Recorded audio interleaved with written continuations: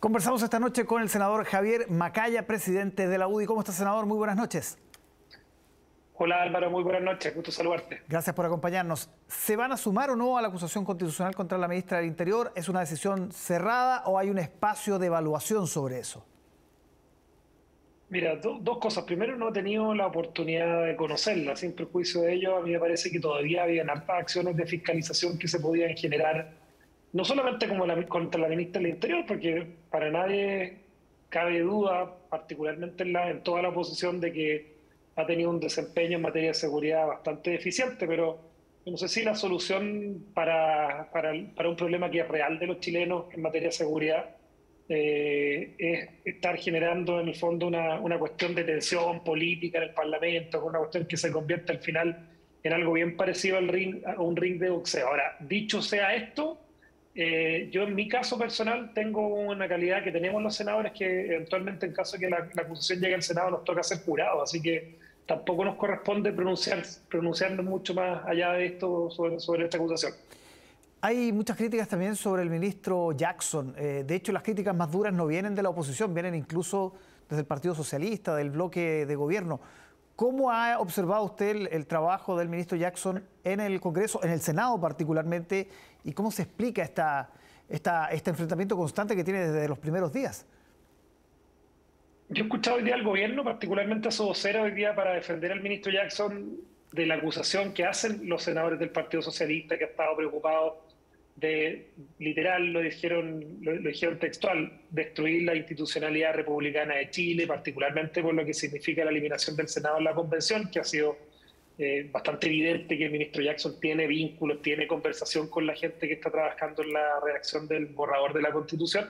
Eh, y bueno, la ministra Vallejo decía que el ministro Jackson no ha tenido un rol en esto, eh, que eso son entes separados, pero para nadie es un misterio que el, vínculo que existe entre la convención ideológico y parte del gobierno, y en este caso no solamente con el ministro Jackson, con la propia ministra Vallejo, eh, la afinidad ideológica, política, partidaria incluso que se tiene por parte de los miembros de la convención con el gobierno es evidente.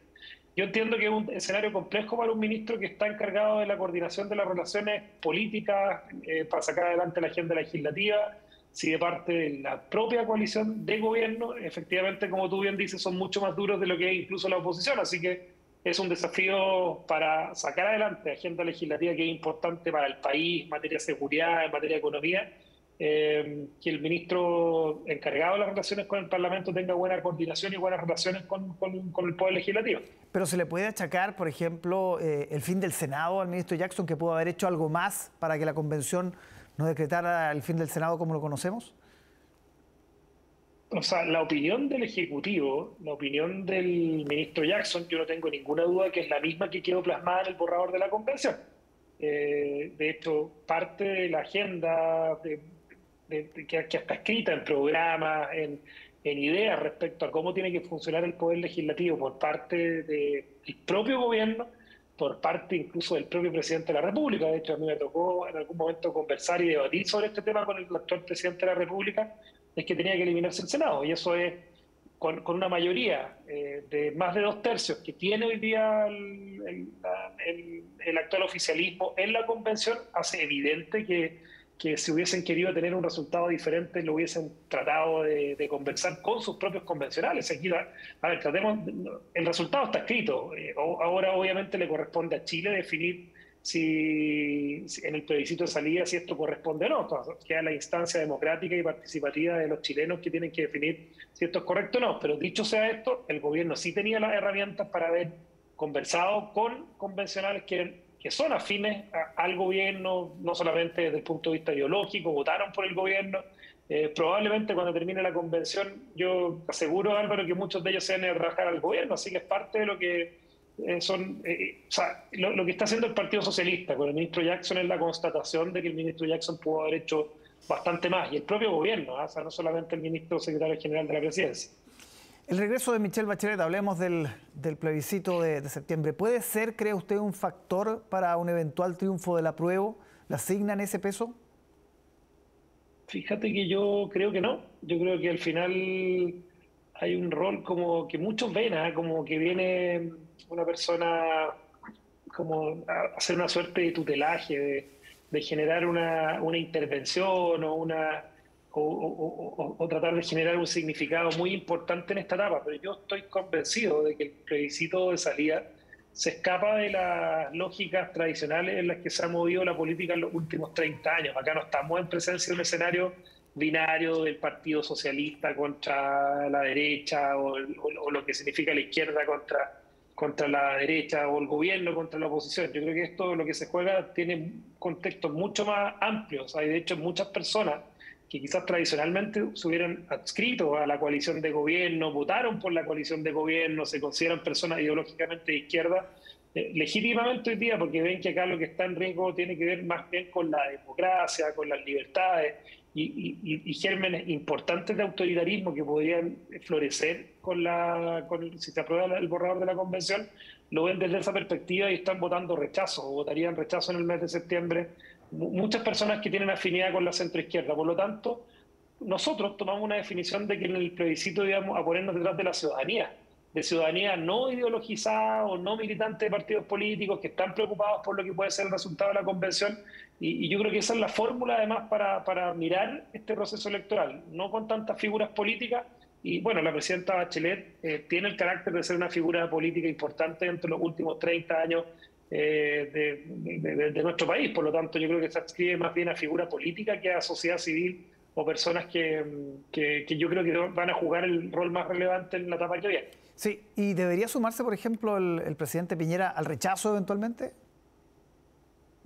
o sea, bajo la misma lógica, personas que han cumplido roles políticos importantes, nosotros, por, por lo menos en la coalición nuestra, yo como presidente del partido, lo que hemos conversado con los otros presidentes de nuestra coalición es ceder el espacio a la sociedad civil. Tomamos la definición de entregarle espacio, el espacio completamente de la franja de televisión, de lo que sea la, franja del plebiscito. Tomamos la definición de ponernos detrás de la sociedad civil y, el presidente Piñera está en, ese mismo rol. O sea, él es una figura política, por lo tanto, sí, a la, pregunta de la presidenta Bachelet, bueno, está en su derecho. a ¿ah? Todas las personas eh, en, en, nuestro país hay libertad de, ejercer opinión política, estamos en democracia, y si ella toma su decisión de hacerlo de esa manera, está en su derecho.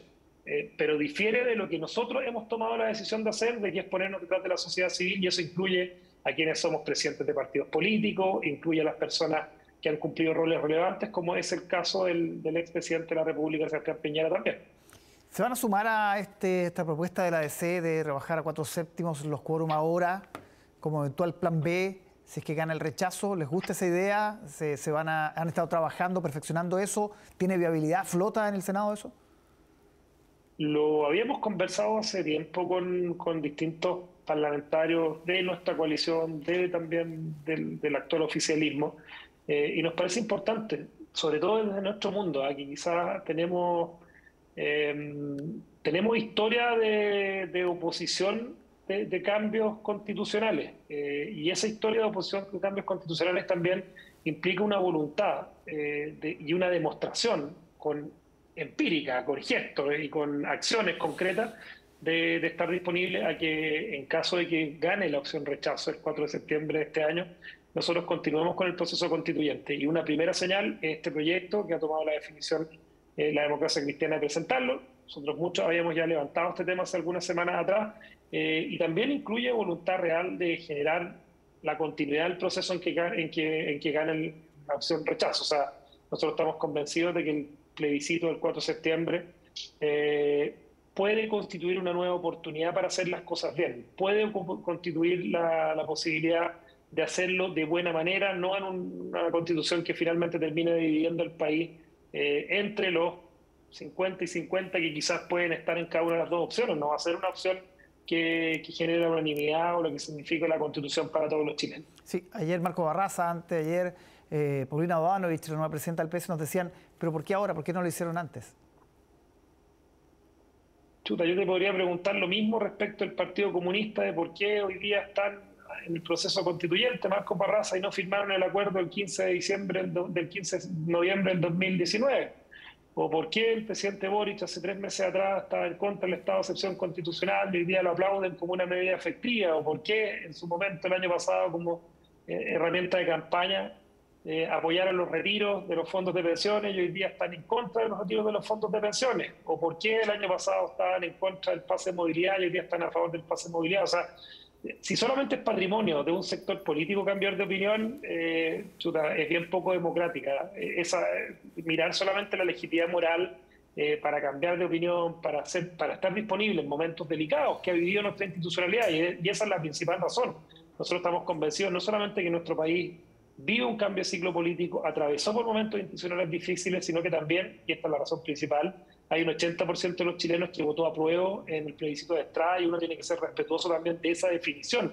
Eh, tiene que empatizar con algo que nos dijo la ciudadanía de manera muy contundente en el plebiscito de entrada y que si los constituyentes no estuvieron a la altura de hacer un texto que una al país, bueno, la oportunidad hay que seguir dándosela y esa y esa oportunidad con símbolos concretos como la rebaja de los quórums o la posibilidad de empezar a meterle también contenido de lo que puede ser una futura constitución que una al país también es parte de lo, de lo que nosotros estamos disponibles para hacer. Bien, senador Macaya, muchísimas gracias por conversar con nosotros esta noche. ¿eh? Buenas noches, tienes que una buena término de jornada. Chao, chao. Que esté bien.